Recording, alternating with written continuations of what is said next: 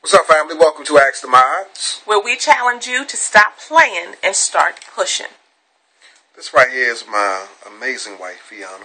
And this right here, this is my oh so intelligent husband, Ayize. All right, y'all, we're going to get right into it. Um, we had a question uh, come in, and I'm going to read it, and I'm going to try to be brief, but I'm, I'm going I'm to read it a little bit here. This uh, young lady says, Hi, I've been watching your YouTube videos for a while, and I've had a certain situation that I've been battling for almost a year with my ex. My ex and I began dating last year in January. We've known of each other for a few years prior, but in January, when we came back into contact, we decided to become a couple.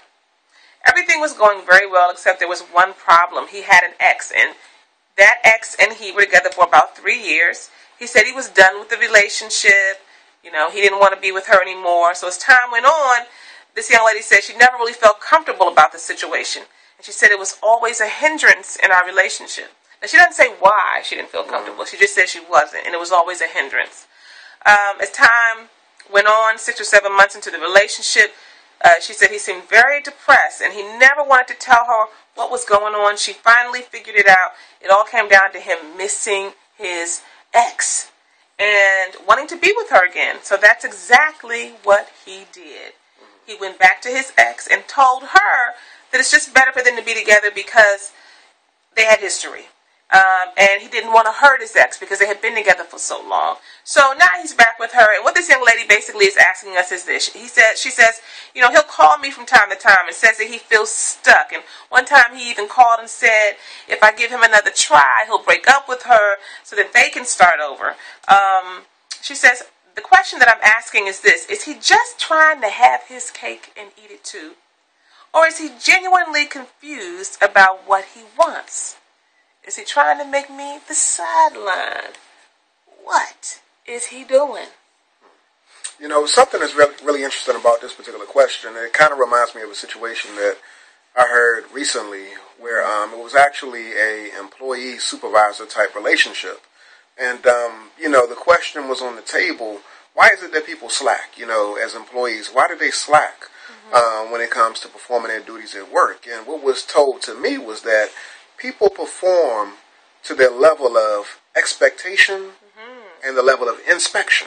That's right. So the level of expectation as well as the level of inspection can oftentimes determine how well somebody will perform. So as it pertains to your relationship here or pseudo relationship, you know, what I'll say is that you need to make sure that you have some clear expectations on the table. Mm-hmm. You want to be in relationship with a dude that takes a declarative position and is very decisive about being with you. Right. You don't want right. somebody that's like half-assing it and is unsure whether or not he wants to be in a relationship with you. Mm-hmm. So again, you want somebody to be decisive, mm-hmm. clearly wanting to be in relationship with you.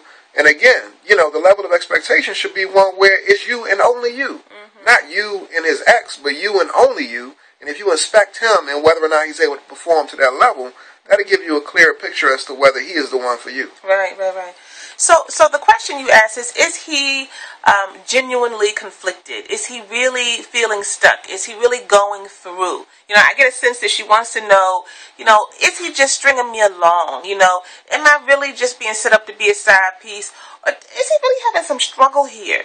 Where he genuinely feels um, connected and obligated to his his woman that he's been with for some time, and he also has a connection with you, and you know, she wants to know, and oftentimes women want to know these things, you know, because that's that's that's you know that's that's feelings, that's emotion, and and and so you know, what is he going through? Is it real? And so so I cannot give you that answer. Perhaps he is. Many times, not just him, but a lot of folks, mm-hmm. we get stuck in situations where we stay committed to drama. We stay committed and connected to things that are not working out for us. We become intimately involved with the dysfunction mm. that is happening in our lives. And so we can sit here and try to analyze whether or not the stuff is real. You can sit and wonder why you're going to work, when you you at work in the middle of the day, when you're out on the weekend, you know, when he texts you. I mean, I wonder what's really going on with him. You can do that. But what I would say to you is that that is time that you do not need to be given to him. It does not matter if it's legitimate. Mm-hmm. It does not matter if it's real. What matters is this it's what my husband said. You have expectations. You know what you need in your life. So the question is, why are you entertaining him? Why are you engaging him? If 25, 35, 50, 75, or 85% of your time is focused on him, entertaining the foolishness, entertaining the drama, no matter how real and heartfelt it is, you cannot open yourself up for anyone else. So maybe he doesn't really want to have you for a side piece.